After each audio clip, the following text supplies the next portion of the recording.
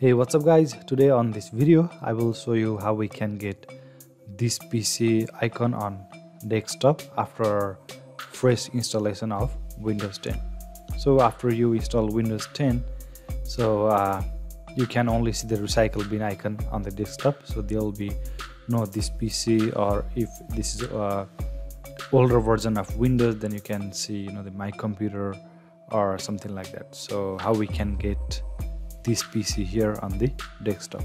So for that right click on the desktop and click on personalize. And here you can see these personalization options.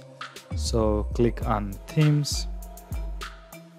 And here you scroll down and you can see desktop icon settings click on this and you can see all these options here. So whatever you want on the desktop you can just click on those options and you can click on okay. So for now i'm gonna do only this computer.